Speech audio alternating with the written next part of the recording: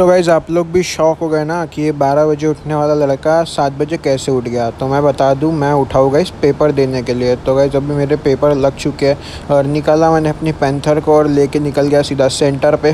तो गई paper vapour दिया, हमको ना गई सेंटर मिलता। फिर मैं आगे गई पेपर वेपर दे के मम्मी को गुड मॉर्निंग किया, क्योंकि बारह बजने की थी।